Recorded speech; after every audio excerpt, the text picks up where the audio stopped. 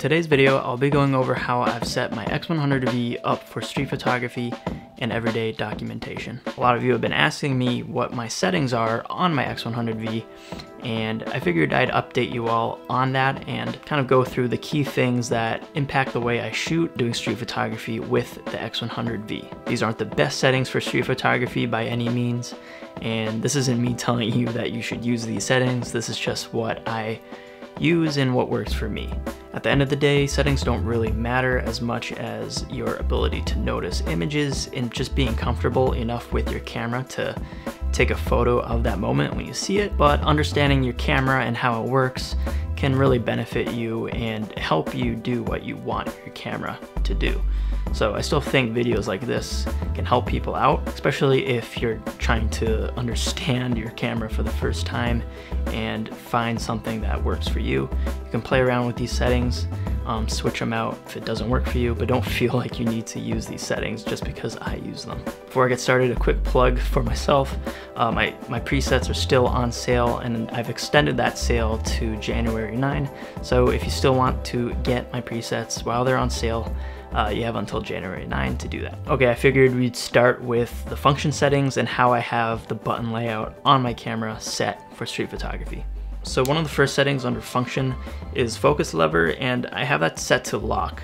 Uh, the focus lever is this little knob thing on the back side of the camera. You use it to like navigate the menu, but it can also be set as the focus point in how you move it around. I have it set to lock because I don't move the focus point at all. I just keep it in the center of the camera. It's not a big deal for me because I aim that camera and focus on what I want to focus on. And then if I want to recompose image, I'll do that after I've focused on that thing but the main reason really is because I accidentally hit this knob all the time when I'm holding my camera and I just don't want my focus point being shifted around accidentally. There are times when I've had this setting on and I've accidentally moved that autofocus point and it basically led to me missing some shots. So yeah, I have this set to lock in that prevents me from moving my focus point by accident. Next is the first function button, which is next to the shutter. I have this set to my photometry settings, and this is a great place for me to have my photometry because I frequently switch between spot metering and matrix metering, uh, depending on if I'm wanting to, you know, expose for my highlights or my shadows, I'll switch to spot. Or if I want an average exposure of the whole scene, I'll go to multi. So since this is something I frequently use, I have it set to this button, which is easy to access. I think that's important to note that the settings that you use the most on your camera should be the most accessible to you. You don't want to have to dig into a menu setting to change your, your metering mode or shutter speed or whatever uh, because the second you go into a menu system, you're just wasting so much time when you know, that moment in front of you, if you're, you know, trying to quickly do this, it's already passed. It's nice to have this ability to quickly change my meter or how I meter with this button. Next is the rear dial. Uh, you can press into this button and I have that set to my auto ISO settings. And this is something I frequently use a lot too because I shoot in auto ISO for a lot of the time and I want to have my parameters set for what my base ISO and max ISO will be, depending on the available light around me or the time of day. So I'll quickly go over those auto ISO settings. So the first setting is basically my daylight setting. Uh, I have my base ISO set to 160, the lowest it can go, and a maximum of 400. This is what I'll use if I'm shooting in harsh light or daylight, but if I need more control over my ISO or a little more leeway, in how high my ISO can go, I'll switch to my second setting, which has a base ISO of 160 and a maximum of 800. I also use this setting a lot for an overcast day. And then finally, my last one, which is for night and indoor photography. I have my minimum ISO set to 250 and the maximum going up to 3200. You might have noticed I didn't mention the shutter speed setting, uh, and that's because it doesn't matter because I'm always changing the shutter speed to whatever I want since I'm shooting in manual. I have this front function button set to my focus check. Uh, that comes in very handy many times.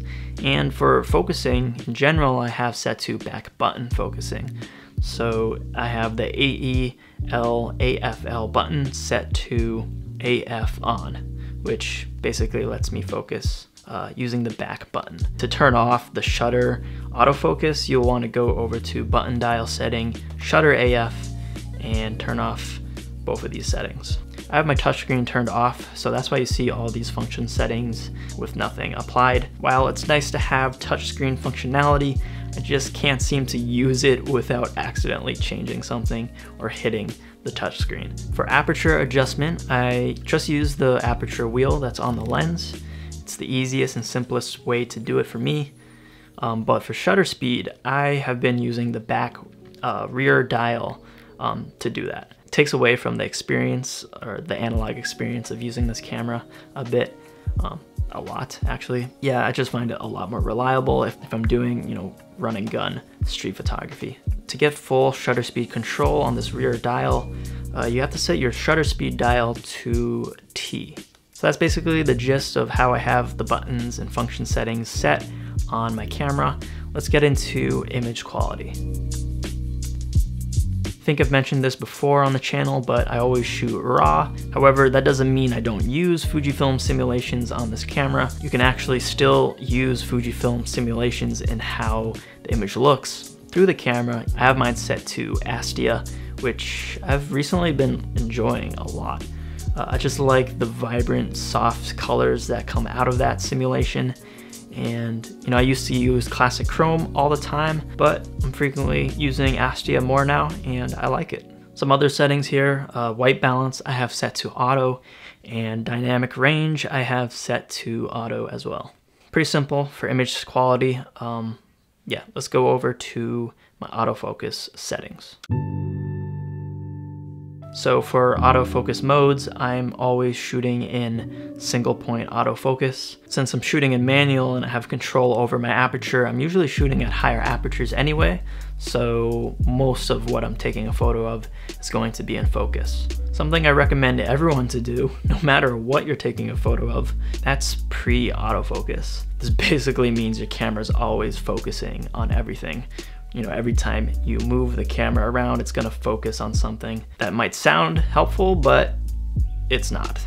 Uh, autofocus illuminator set to off for maximum stealth, of course. I have autofocus and manual focus set to on, and that lets me have a little bit of more control over my focus. So I can override the autofocus and go into manual focus if I need to with the focus wheel.